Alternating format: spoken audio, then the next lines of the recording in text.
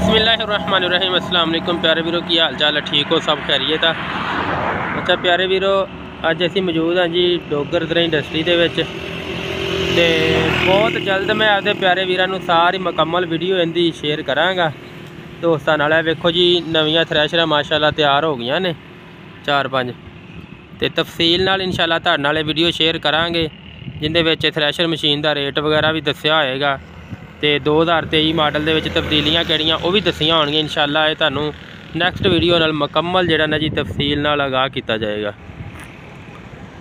ਉਹਦੇ ਵਿੱਚ ਰੇਟ ਵਗੈਰਾ ਵੀ ਦੱਸਾਂਗੇ, ਇਹਦਾ ਰੇਟ ਕੀ ਹੈ 2023 ਦਾ ਤੇ ਮਾਡਲ ਦੇ ਵਿੱਚ ਜਿਹੜੀਆਂ ਨਿਊ ਤਬਦੀਲੀਆਂ ਉਹ ਕਿਹੜੀਆਂ ਉਹ ਵੀ ਤੁਹਾਨੂੰ ਦੱਸਾਂਗੇ, ਇਨਸ਼ਾਅੱਲਾ ਨਵੀਂ ਵੀਡੀਓ ਦੇ ਵਿੱਚ।